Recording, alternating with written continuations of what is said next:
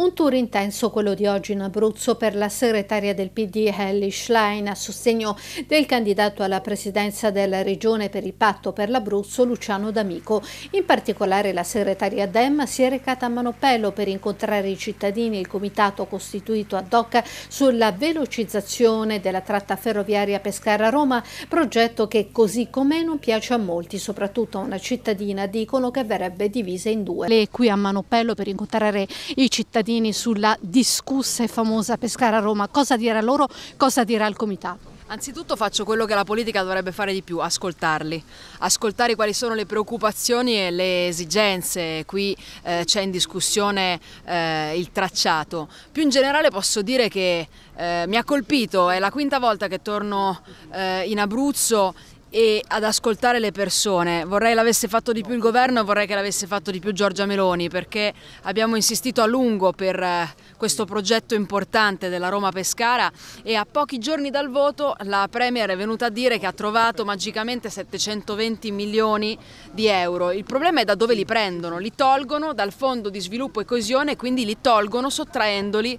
ad altri progetti per l'Abruzzo. Questo si chiama gioco delle tre carte, è un furto mascherato. Hanno loro tolto i fondi fondi dal PNRR e oggi li rimettono però togliendoli ad altri progetti per questa regione. Non è così che si fa? Sempre a sostegno del candidato Luciano D'Amico, il senatore Matteo Renzi, leader di Italia Viva, è stato nella sala del Consiglio Comunale di Pescara con la lista dei riformisti e civici nata dall'iniziativa di Italia Viva e socialisti. C'è una grande attenzione anche nazionale perché i vari schieramenti immaginano chissà quali conseguenze a livello romano, il mio suggerimento da ex sindaco, da ex amministratore è scegliete sulla base del candidato che preferite e pensate al futuro del vostro territorio. Per questi motivi noi stiamo con D'Amico. Poi Renzi risponde ai giornalisti sull'accordo con Azione di Calenda e Movimento 5 Stelle. Un matrimonio possibile?